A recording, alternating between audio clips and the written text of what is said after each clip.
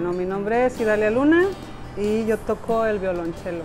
Mi nombre es Hans Benítez Valadez y mi instrumento principal es el violín. Yo me llamo Alexei Grimaldo y en Liber toco el violín. Hola, yo me llamo Celina Elizabeth Guajardo Guevara y yo toco la viola.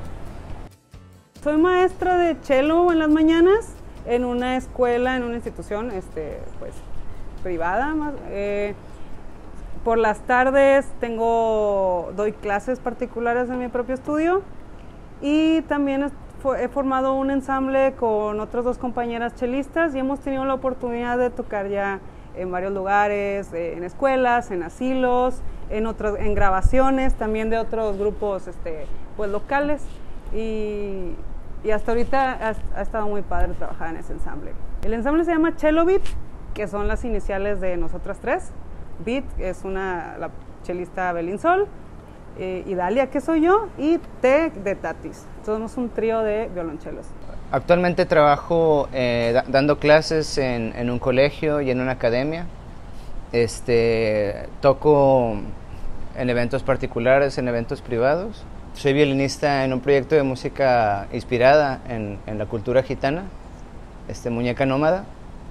Este, hace poquito empecé a, tocar tango otra vez y toco percusión en un ensamble de, de música celta, eh, toco el cajón.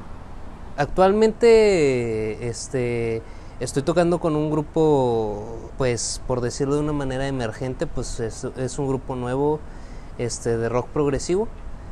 Este, el grupo se llama Jet Marts, este, apenas estamos iniciando con, este grupo. También toco ahorita con una orquesta este, llamada, de una orquesta de una, de una iglesia, este, que se llama, la orquesta se llama eh, Orquesta Reina de Los Ángeles.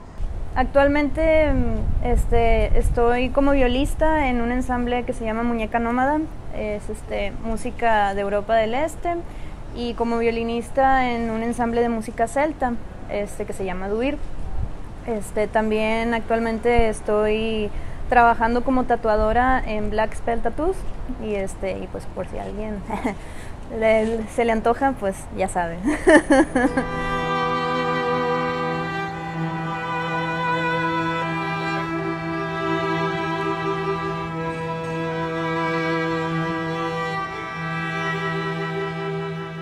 Me gustó mucho la obra, eh, la, manera en que las cuerdas entran, el, cómo cantan todos, creo que al final, si recuerdo bien, tienen cómo se van uniendo las voces de los integrantes del grupo.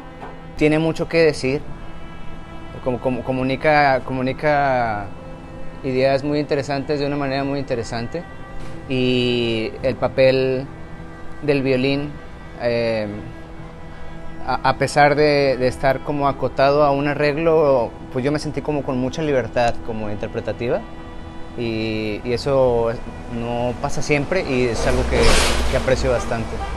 Al inicio yo solamente oí pues prácticamente lo que vendría siendo el arreglo de, de, de cuerdas este, de la canción, pero una vez que ya oí todo el contexto de la, de la canción, este, me pareció muy satisfactorio y algo innovador ya que pues al inicio de la canción este, no, no hay cuerdas y en el momento en que entran las cuerdas se siente que cambia el, el ambiente y cambia la, la, perspectiva totalmente de, de, la canción de cómo inicia a cómo termina.